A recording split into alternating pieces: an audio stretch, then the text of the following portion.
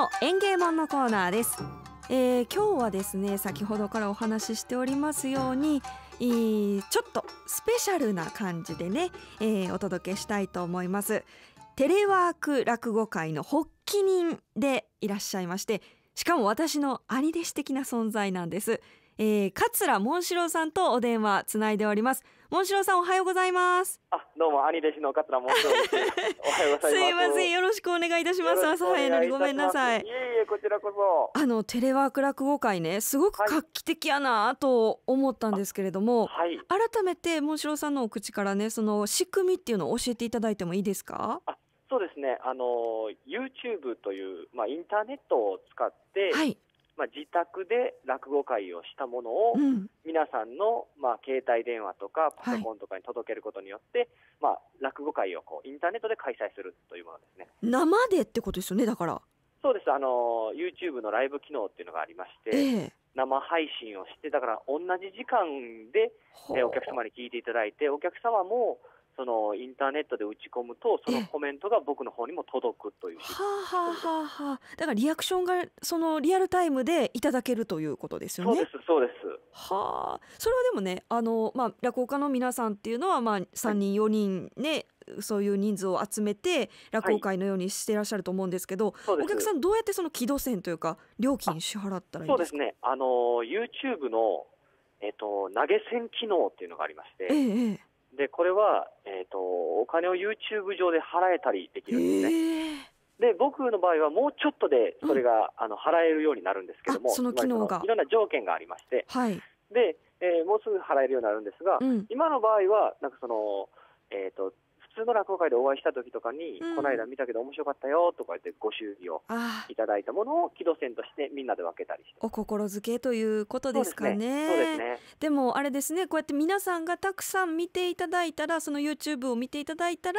きっとその投げ銭機能っていうのもできるようになるそうですそうですです。よね、はい、だから多くの方に見ていただきたいということですよね、ね、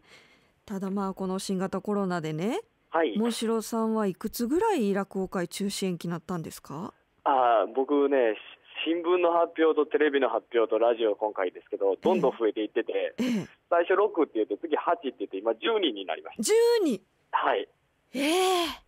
ー、ぶっちゃけ、ぶっちゃけ、はい、何が買えます？総額で。ぶっちゃけ車買えるんちゃいますか？いや、そんなことないけど。いや、そんなことないですけど、いや、そんなことないですけど、いや、そんなことないですけど、まあでも、単車は買えますわね。ね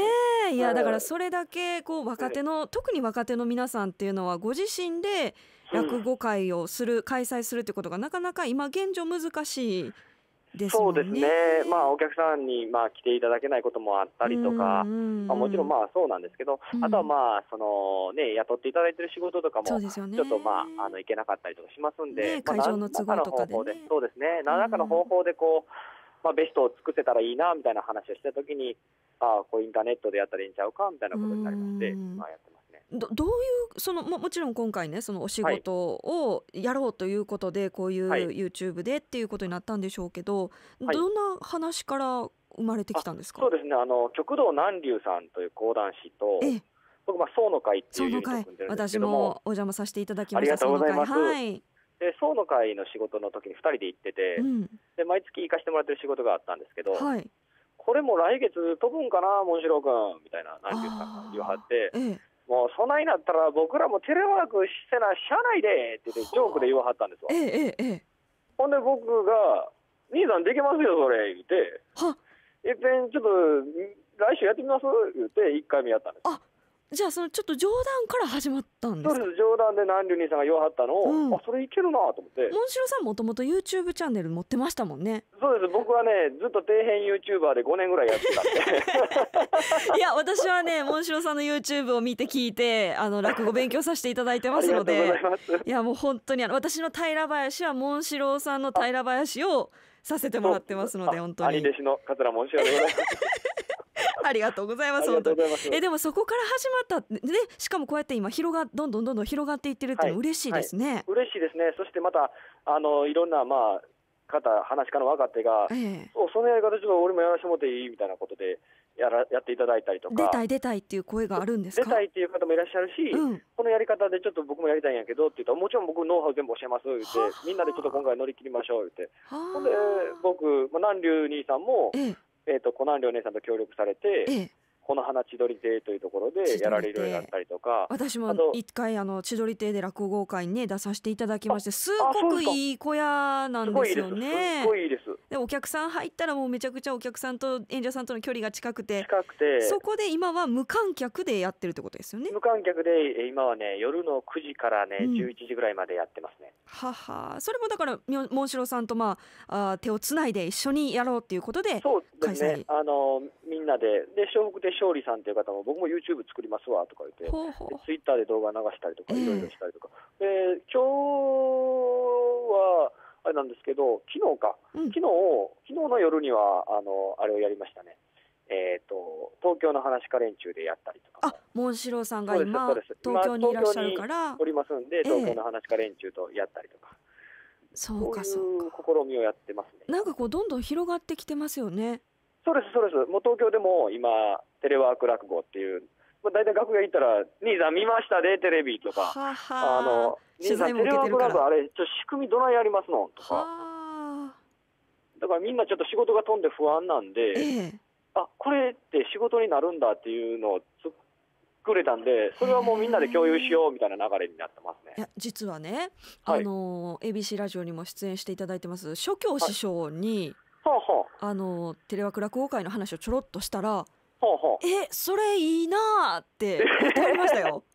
お弟子さん出てありましたよ、千鳥で、テレワーク千鳥で、京介に。京介さんのお話をしたんですよ。えー、そんなん出てんの、京介って言ってはったんで。ええー、な、ええー、なって羨ましがってましたよ。あ、もしかしたら師匠方も、うん、ね、大御所たちが YouTube デビューされる日も近いかもわかりませんね。かもしれません。もう一回お声掛けねいただいたら、そうですよね。もしかしたら快諾いただけるかも。簡単ですよ。こんなもんすぐ作れますよ言うて。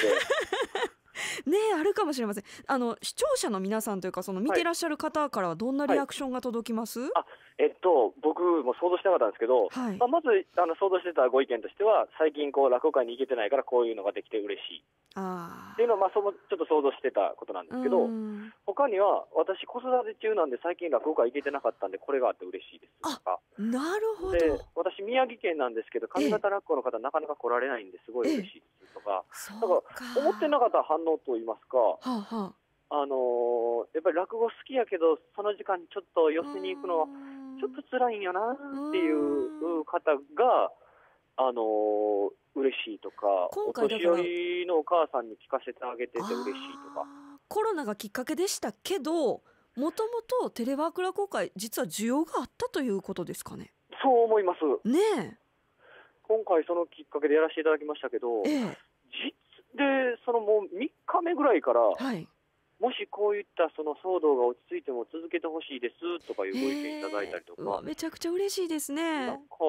広がりますね。まですね。え、いつまで開催する予定とか決まってるんですか？いやもう全く未定で、つまりもう、うん、あ次の日何するかとかもなんかその未定でどんどん決まっていくというか、うそのなんだろう。まあ、一応、そのコロナウイルスのいわゆる自粛期間といいますか、えー、当初の予定としては、いわゆる自粛するべきだみたいな期間だけできたらいいかなと思ってたんですけども、